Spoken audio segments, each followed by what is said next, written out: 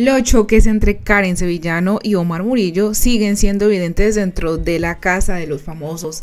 Estos dos han tenido una de las peleas más fuertes de la competencia. Ninguna la ha superado. Esos gritos, esa altanería entre los dos ha generado muchísima controversia dentro de la casa de los famosos.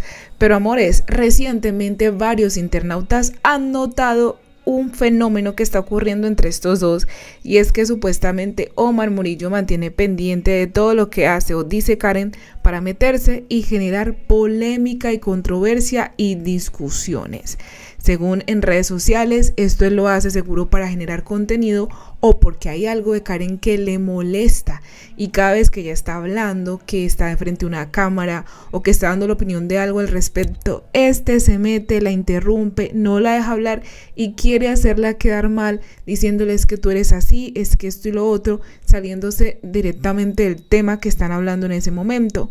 Muchos hasta dicen que Karen ya le está teniendo paciencia y hasta presa, que por eso no le sigue la corriente.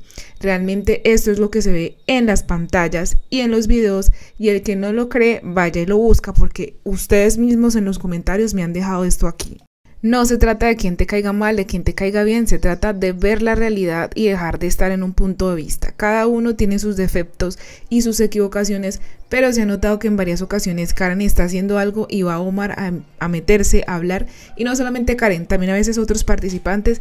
Él quiere siempre ser el foco y estar hablando de todo y imponer su punto de vista, tanto que ya en redes sociales le están cogiendo fastidio y muchas personas aún así lo apoyan. También él tiene mucho público de gente que lo sigue desde hace muchos años y lo defienden en redes sociales y tienen todo su derecho a defender a su famoso favorito. Y si él es uno, chévere, va caro que lo hagan.